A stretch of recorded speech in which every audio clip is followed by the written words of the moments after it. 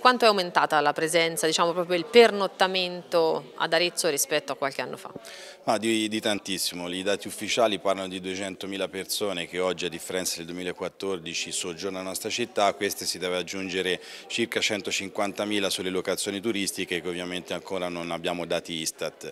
Quindi Arezzo sta crescendo, sta crescendo tantissimo, ma non solo dal punto di vista del turista ma anche delle attività produttive legate proprio al turismo, quindi sono cresciuti posti letto, sono passati da, da 1000 dei primi anni 2000 a quasi 4500 di ora, quindi tantissimi aretini si stanno diciamo, buttando sul mondo delle strutture ricettive sia dal lato dei bed and breakfast che dal lato delle locazioni.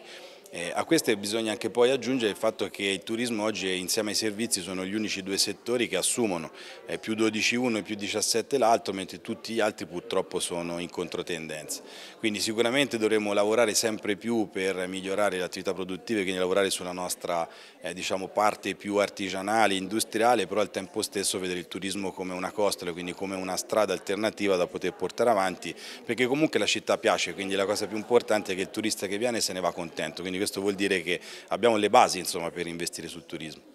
Ecco, mm, venendo alle questioni un pochino più cittadine, eh, la buccia di banana saranno le luminarie, speriamo proprio di no.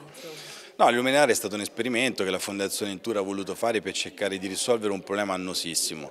Eh, negli ultimi dieci anni, quindi comunque sia noi che la vecchia amministrazione ha avuto grandi problemi sui luminari, nel 2013 vennero sequestrate tutte, quindi era un problema che volevamo risolvere. Ci abbiamo provato obiettivamente con risultati non, non positivissimi, più che altro perché non abbiamo avuto una grande risposta da chi una volta di solito le pagava tradizionalmente che comunque per un motivo o per un altro a noi, a noi non, non ha pagato. Quindi ad oggi è un costo troppo elevato per la fondazione, valuteremo se rifarlo o no. Però cosa positiva è che la città ha questa grande massa di persone, si è comunque fatta vedere pulita, illuminata, quindi molto viva e quindi questo comunque è risultato positivo uguale.